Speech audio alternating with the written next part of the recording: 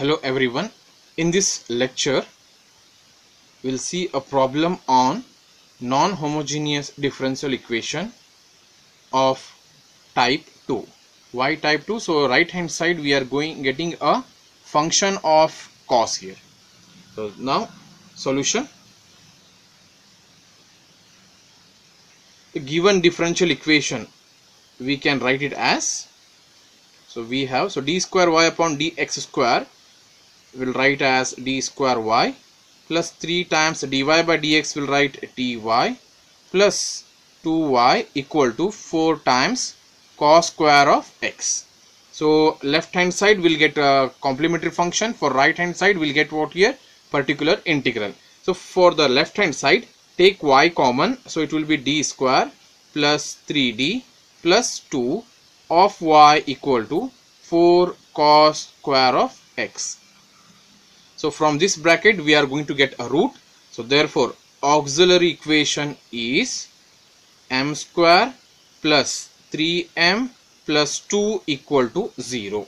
So from this we need to get a root then we need to simplify here. So here the if you go for the simplification m square plus 3m plus 2 so the brackets so factors for this is m plus 1 and m plus 2 equal to 0 so which will be? So on simplification so m plus 1 equal to 0 or m plus 2 equal to 0 so again on simplification which implies? So m equal to minus 1 or m equal to minus 2 so therefore the auxiliary equation roots are the auxiliary equation roots are m equal to minus 1 and minus 2 so based on this auxiliary root so we can write a complementary function. So therefore yc is equal to c1 e raised to minus x plus c2 e raised to minus 2x so this is an complementary function. So with the help of this complementary function so we'll go for the general solution. For the general solution for this non-homogeneous differential equation we needed particular integral also. So from the right hand side we'll go for what here? Particular integral. So 4 cos square of x is nothing but phi of x value. So let's see the particular solution now. Now in the given question the value of phi of x is uh, here? 4 times cos square of x.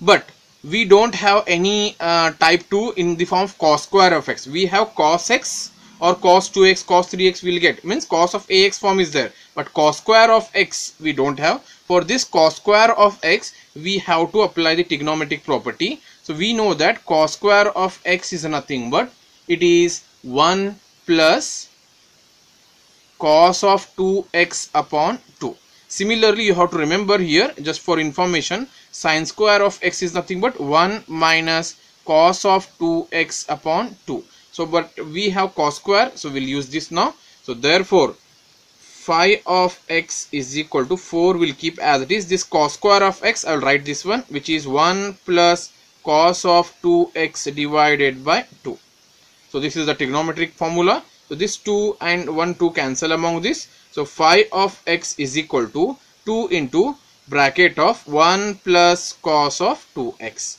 So we got our simplification of phi of x as 2 times 1 plus cos 2x. So with the help of this we'll go for a particular integral. So now so the pi or yp is equal to so it is phi of x divided by f of d square so which is nothing but phi of x is 2 times 1 plus cos of 2x and our f of d square that is coefficient of y in this equation is d square plus 3d plus 2 okay? So now what I will keep this 2 as it is outside. So yp is equal to 2 will keep outside. So now this two terms divided by this uh, will consider as one term. So 1 divided by 1 divided by d square plus 3d plus 2 plus this cos 2x divided by d square plus 3d plus 2 okay then I will give uh, this one as equation because we have two uh, results we need to simplify. So now so here yp is equal to 2 into bracket of. So 1 we can write it as e raised to 0 into x divided by d square plus 3d plus 2 so 1 is the e raised to 0 into x is e raised to 0 e raised to 0 is 1 so we have type 1 here plus cos of 2x as it is divided by d square plus 3d plus 2 so i will give equation number 1 so this is uh, first term what we got. That is i will say it is p1 and this is what here p2 so particular integral 1 particular integral 2 so we'll simplify this first separately then this separately then we'll apply in the equation number 1 and we'll get a common uh, yp that is final uh, particular integral. So let's see here. So now i will take this particular integral p1 is equal to e raised to 0 into x divided by d square plus 3d plus 2 so e raised to 0 into x this is belongs to type 1 so type 1 says replace d is equal to the value of a. The coefficient of x is value of a. So therefore d is equal to what here? 0 in this expression. So what happens here? On simplification of this. So p1 is equal to e raised to 0 into x divided by so d square. That is 0 square plus 3 into 0 plus 2. So simplification form is e raised to 0 into x divided by 0 square is 0 leave it plus 3 into 0 is leave it we got 2. So therefore our p1 will be what here. So therefore p1 will be e raised to 0 into 1 is again 1 so 1 upon 2. The p1 value is 1 upon 2. So this value we got it means the first uh, integral means particular integral we got it. Now we have to think for second one now. So what is second one we will see here. So therefore P2 is equal to cos of 2x divided by d square plus 3d plus 2. So this is belongs to type 2. So this one is type 1. This belongs to what here type 1. I will mention it. So but here we are working for type 2 in that type 2 we got type 1 so we have to go for that so now here so the value of a is the coefficient of x that is 2 so therefore uh, Uh, type 2 says replace d square is equal to minus times a square. The a, a value is uh, 2 so a square will become 4 so we have to replace d square is equal to minus times 4 so therefore the type uh, this uh, P2 will become cos of 2x divided by so d square will be replaced by minus 4 plus 3 into d as, as this plus 2. So on simplification P2 will become minus 4 plus 2 will become minus 2. So therefore it will become 3d minus 2. So therefore P2 is equal to cos of 2x divided by 3d minus 2 but still we have d inside here so therefore we have to rationalize the denominator so 3d plus 2 divided by 3d plus 2 so on rationalizing and simplification so p2 will become cos of 2x into 3d plus 2 divided by a minus b a plus b. So the formula is what here? A minus b a plus b is nothing but a square minus b square. So here a square is 3d whole square minus b square is what here? 2 whole square. a square minus b square is a minus b a plus b. So on simplification this will be cos of 2 uh, I will open this uh, bracket. Or else uh, in the next step I will open. So cos of 2x into 3d plus 2 divided by so here if you open so 3 square is 9 d whole square is what here? d square minus 2 square is 4 so therefore on simplification p2 will be so cos 2x into 3d it will become 3 times d of cos of 2x cos 2x uh, plus into plus is plus. Cos 2x into 2 is so 2 times cos of 2x so divided by, so here we have again d square. So replace d square is equal to minus 4 so it will become 9 into minus 4 minus 4 here. So therefore on final simplification. So p2 is equal to 3 times. D stand for differentiation. So differentiation of cos 2x so it is nothing but minus sine of 2x differentiation of 2x is 2 plus this 2 times cos of 2x as it is divided by minus, uh, uh, minus times 9 into 4 it will be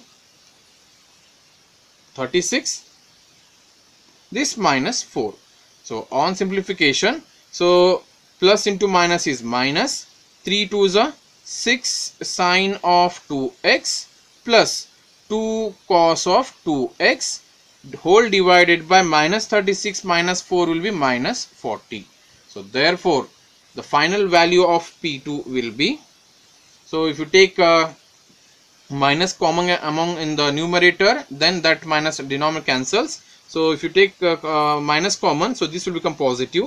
So it will become and as well as I will take uh, 2 common. So if I take 2 common and uh, minus 2 I will take common. So it will become uh, 3 times sine of 2x plus sorry minus cos of 2x whole divided by minus 40 so minus minus cancel 2 ones are 2 2s are here. 4 so we got p2 as 3 sine 2x minus cos of 2x whole divided by 20 so this is the value of p2 so this p2 value we need to simplify here as in the equation number 1 so equation 1 becomes that is yp is equal to p1 answer we got 1 by 2 so already we have 2 outside the bracket. You check here 1 so p1 value is 1 by 2 plus p2 value we got this. That is 3 times sine 2x minus cos of 2x whole divided by 20 or yp is so therefore yp you multiply this 2 so 2 into uh, this 1 by 2 will become 1 plus 2 into this 20 will become 10 here. So it will become 3 sine of 2x minus cos of 2x whole divided by 10 it will become. So therefore this is the value of yp so with the help of yp we have to go for the final result that is general solution. The general solution is given by